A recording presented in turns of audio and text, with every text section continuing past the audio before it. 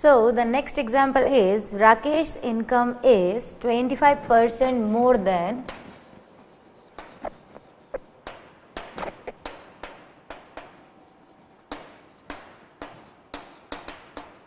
percent more than that of Rohan. what percent is Rohan's income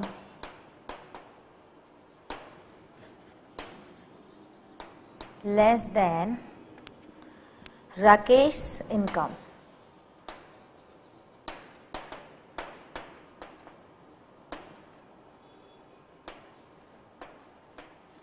Right? Question है, राकेश की income जो है, रोहन से 25 परसेंट मोर देन है। Means let say Rohan hundred rupees earn करता है तो राकेश उससे 25 परसेंट ज़्यादा।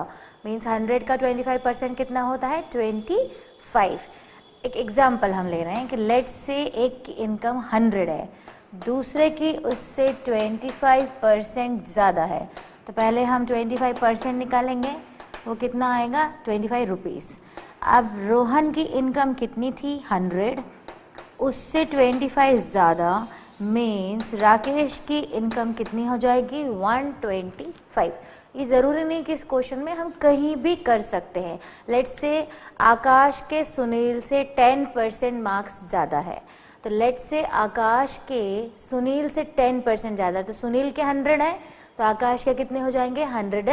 110 मीन्स हम 100 एज्यूम करके किसी भी क्वेश्चन को सॉल्व कर सकते हैं। तो हम क्या करेंगे? Let the Rohan income be क्योंकि हमें रोहन की पता होना चाहिए।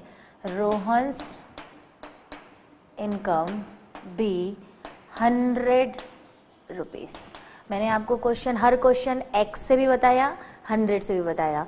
फिर मैंने आपको साथ में ये भी बताया कि कुछ क्वेश्चंस बहुत कंफर्टेबली सॉल्व हो जाते हैं। अगर हम हंड्रेड एज्यूम करें। जैसे मैंने अभी आपको नंबर का एग्जांपल दिया कि सुनील से टेन परसेंट ज़्यादा है। तो आप सुनील के एज्यूम कर लें कि हंड्रेड मार्क्स हैं तो टेन परसेंट ज़्यादा, यानी हंड्रेड एंड टेन आकाश के हैं। तो ये अभी हमने जस्ट एग्ज़ाम्पल यूज़ किया। ऐसे आप रोज़मर्रा की लाइफ में कुछ भी एग्ज़ाम्पल यूज़ कर सकते हैं। तो हमने रोहन की इनकम कितनी एज्यूम कर ली? हंड्रेड रुपीज़ अब Rakesh income is twenty five percent Rakesh income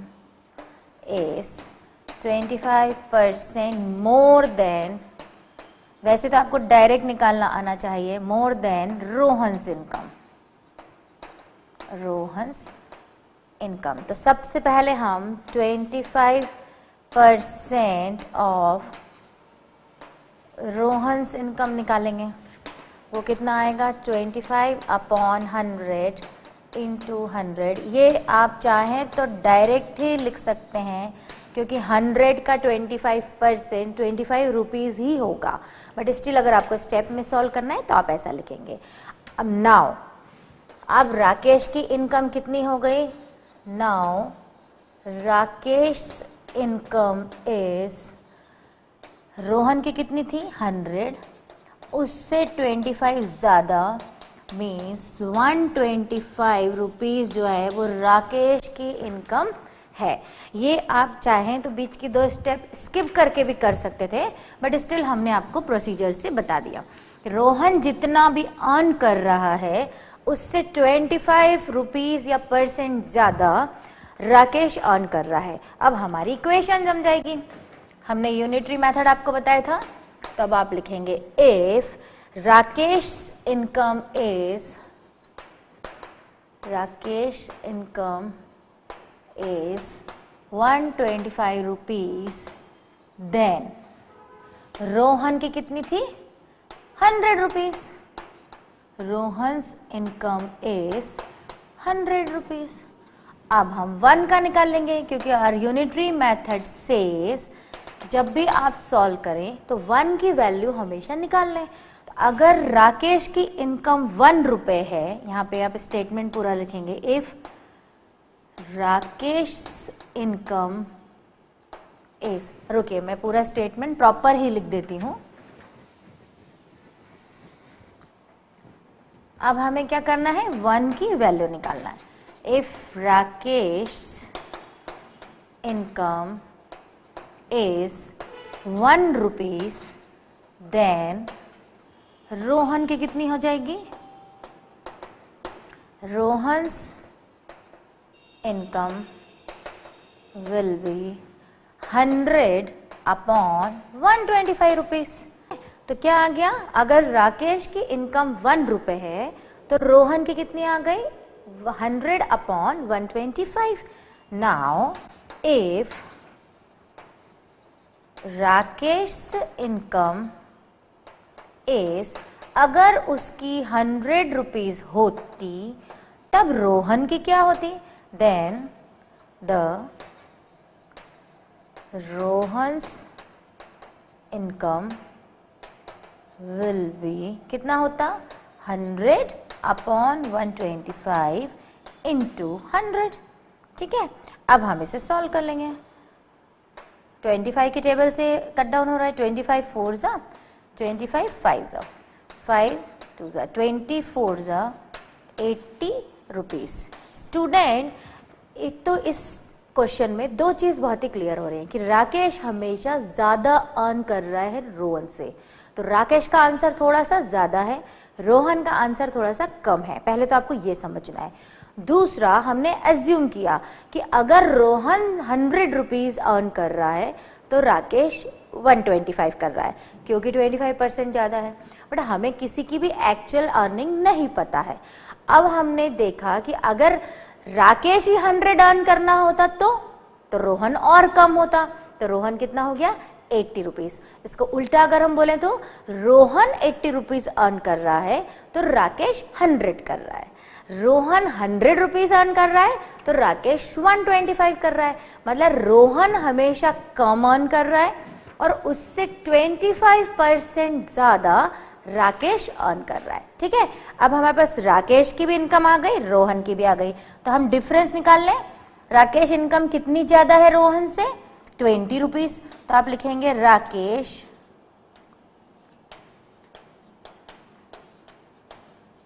income is hundred minus eighty means twenty more than Rohan's. ठीक है? क्योंकि हमने निकाल लिया कि रोहन एट्टी रुपीज़ ऑन कर रहा है। और राकेश उससे ट्वेंटी फाइव परसेंट ज़्यादा अर्न कर रहा है। Means Rakesh hundred rupees earn कर रहा है। ठीक है? तो हमें राकेश की भी इनकम पता चल गई और रोहन की भी चल गई। और साथ में दोनों का डिफरेंस भी पता चल गया। कितना डिफरेंस है? ट्वेंटी रुपीज़ का।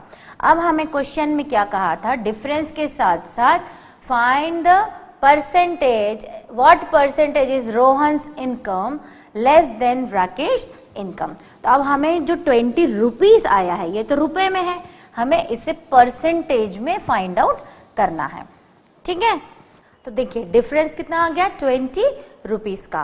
तो आप चाहें तो उसे डायरेक्ट बोल सकते हैं, क्योंकि हम हंड्रेड की बात कर रहे हैं तो ट्वेंटी परसेंट का डिफरेंस है डिक्रीज है। ठीक है? बट स्टिल आप अगर इसको निकालना चाहें तो आप कैसे निकालेंगे? परसेंटेज के फॉर्म में twenty upon hundred into hundred. तो आपका कितना आ जाएगा? Hundred hundred cancel, twenty percent. तो आपका स्टेटमेंट होगा, Rohan's income is, Rohan's income is twenty percent less than Rakesh income. Right? right? ये आपने फाइंड आउट करके बता दिया कि कितना डिक्रीमेंट है। अगर राकेश 100 अर्न कर रहा है तो रोहन 80 अर्न कर रहा है अकॉर्डिंग टू दिस क्वेश्चन थोड़े से कॉम्प्लिकेटेड लगेंगे बट आप जितना प्रैक्टिस करेंगे, उतना फिर आपके लिए ईजी हो जाएगा। नेक्स्ट क्वेश्चन है, Rishi requires 40 percent to pass if he gets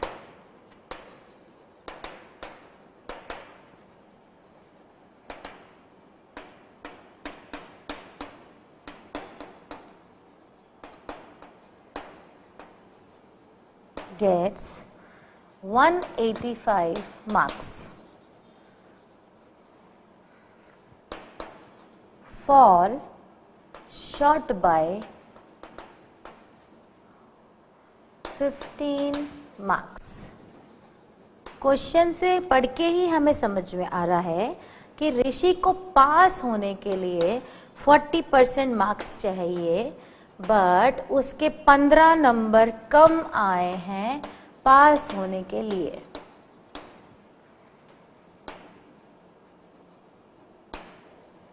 He could have got.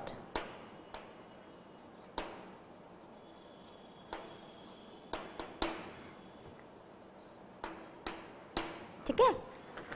Question में क्लियर है कि ऋषि पास नहीं हुआ है।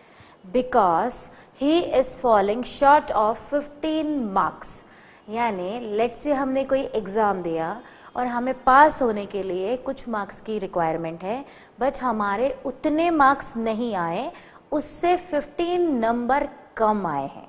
ठीक है? मीन्स वी आर फेल अगर कम आए हैं तो मतलब फॉलोइंग शॉर्ट ऑफ़ मार्क्स है। यानी उतने मार्क्स और चाहिए थे। तो सबसे हाँ पहले हम लिखेंगे ही गेट्स आप स्टेटमेंट प्रॉपर बनाएँगे ऋषि गेट्स 185 मार्क्स अब आप लिखेंगे शॉर्ट मार्क उसको कितना शॉर्ट हुआ? He could have score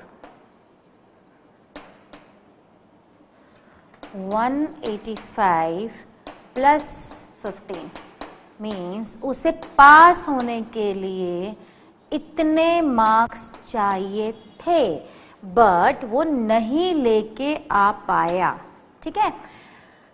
इतने मार्क्स चाहिए थे बट वो नहीं लेके आया, कोई बात नहीं, पर इतने मार्क्स कितने टोटल में से चाहिए थे? एग्जामिनेशन टोटल कितने मार्क्स का था? तो यहाँ भी आप वही या तो एक्स एज्यूम कर लें, या वो हंड्रेड के तरीके से कर लें। तो यहाँ आपको एक्स एज्यूम करके मैं आपको बता रही हूँ। Let the total marks be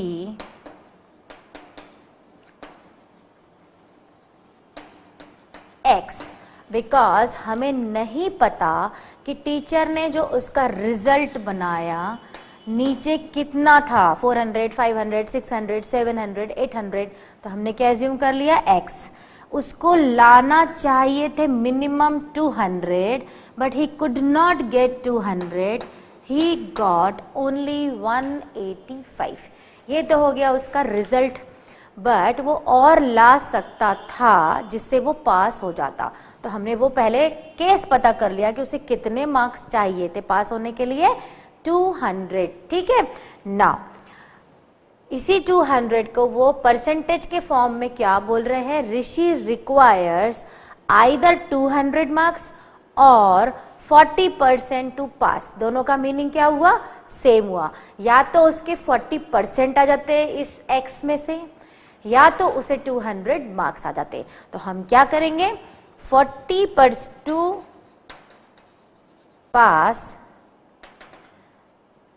40 percent of total means आप स्टेटमेंट बनाएँगे ऋषि नीड्स और require to pass 40 percent of the total 40 percent of means multiply total हमने क्या एज्यूम किया है? एक्स अगर ये देखें, ये आ जाते तो ये ऑब्वियस है कितने के बराबर होते? 200 के बराबर होते।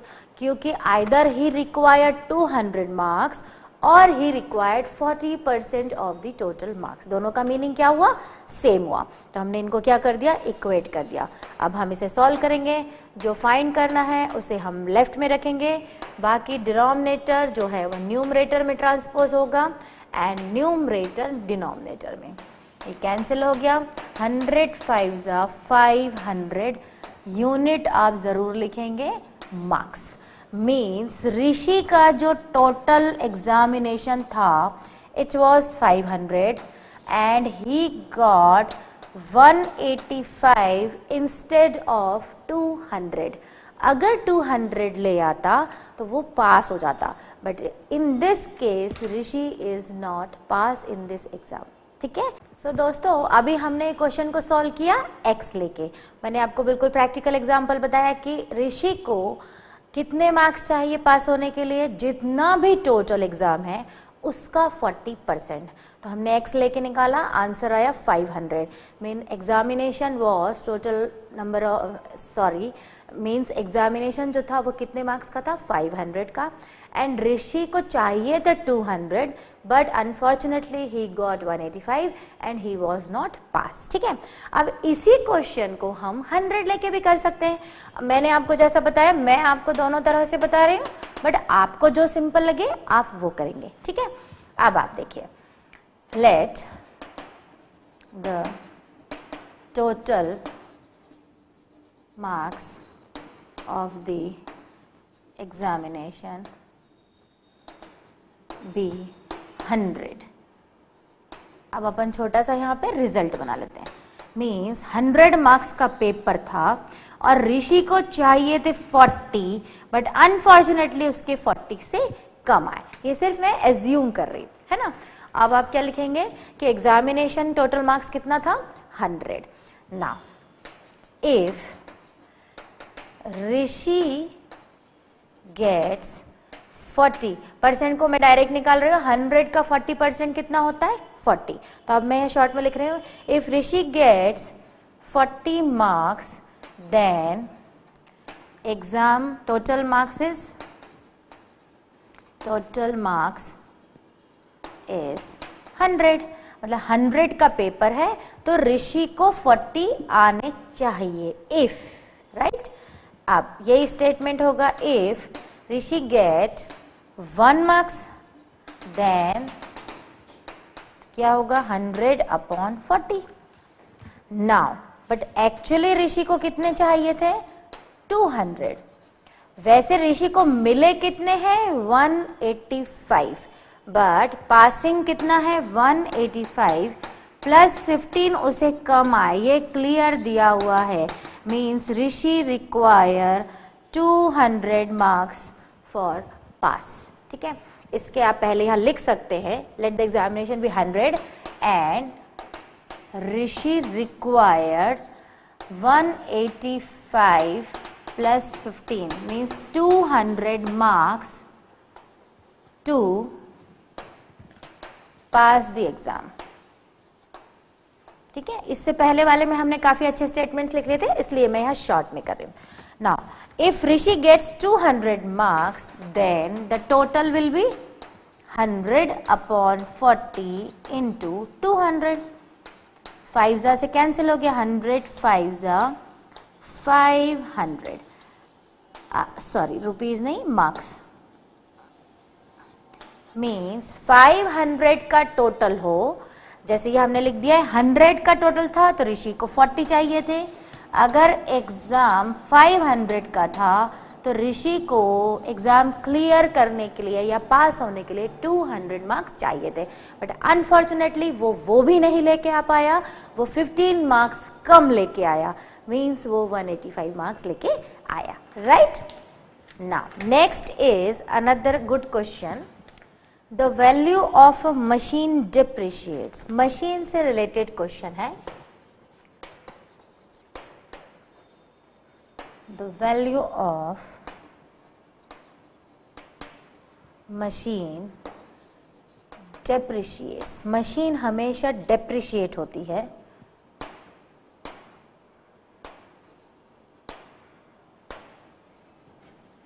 Every year by 10 percent. What will be its value?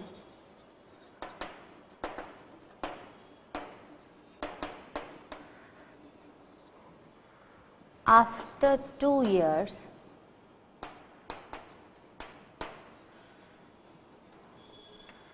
if its present value is fifty thousand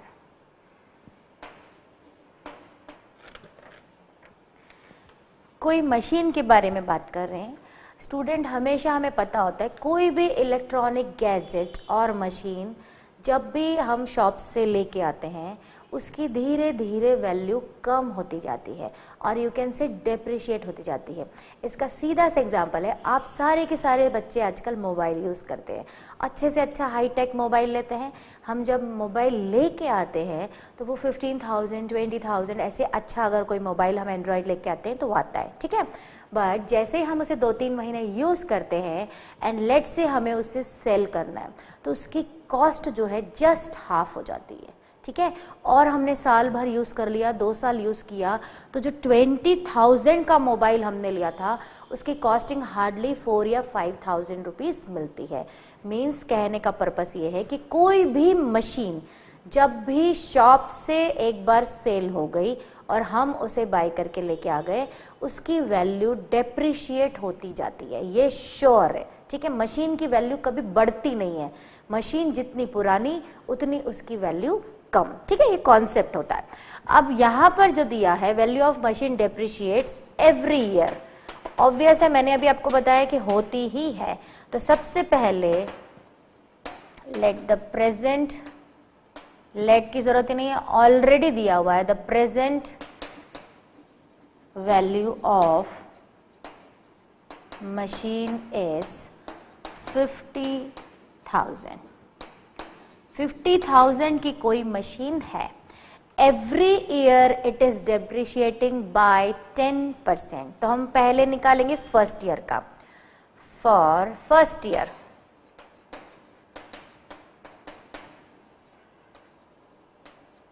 ten percent depreciation को मैं शॉर्ट में लिख रही हूँ। ठीक है? तो क्या होगा?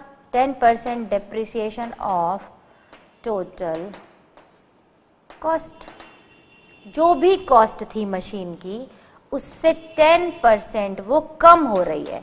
तो सबसे पहले हम टेन परसेंट तो निकालें। ठीक है? दो ज़ीरो से दो ज़ीरो कैंसिल ये आया फाइव थाउज़ेंड रुपीज़ ये फाइव थाउज़ेंड क्या आया है? डेप्रिसिएशन आया है। मींस मशीन की कॉस्ट इतनी कम हो चुकी है। Actually it was costing fifty thousand now it is costing forty five thousand why this is depreciation तो fifty thousand minus five thousand तो अब एक्चुअल कॉस्ट कितनी आएगी? साल भर बाद फोर्टी फाइव थाउज़ेंड तो अब आपका यहाँ स्टेटमेंट बनेगा after one year the cost of the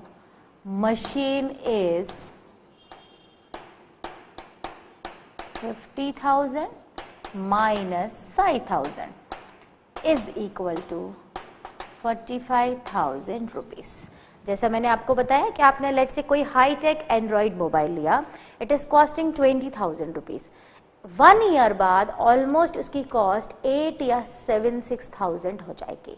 तो अब आपको अगर इसमें डेप्रिसिएशन देखना है तो आप कैसे निकालेंगे? ट्वेंटी थाउज़ेंड का था एंड अभी उसकी कॉस्ट एट थाउज़ेंड है मीन्स ट्वेल्व थाउज़ेंड का लॉस है। ट्वेल्व थाउज़ेंड का डिप्रिसिएशन है। सिमिलरली यहाँ फाइव थाउज़ेंड का डिप्रिसिएशन है। So after depreciation the cost of the machine is forty five thousand now second year उन्होंने एवरी ईयर कहा है और उसमें दो साल की बात कर रहे हैं। For second year ten percent of the cost of machine ठीक है?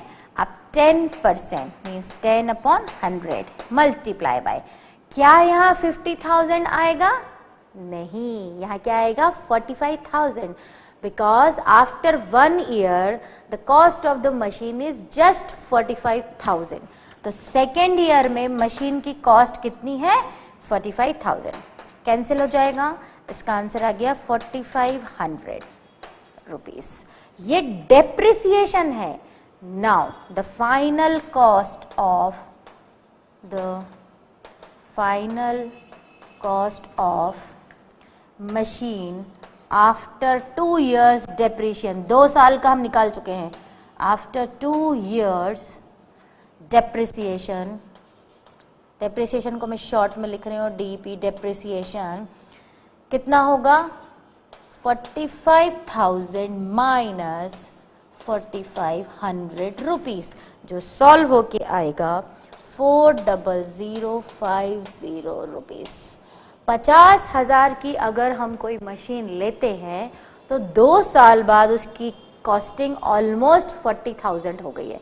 Forty thousand fifty rupees means forty thousand यानी टेन थाउज़ेंड का ऑलमोस्ट लॉस हो रहा है ओनली इन टू ईयर्स तो अब आपको क्लियर हो गया होगा कि कोई भी इलेक्ट्रॉनिक गैजेट जब भी शॉप से हम बाय करके घर लेके आ जाते हैं, उसकी वैल्यू धीरे धीरे धीरे कम होती जाती है। ठीक है?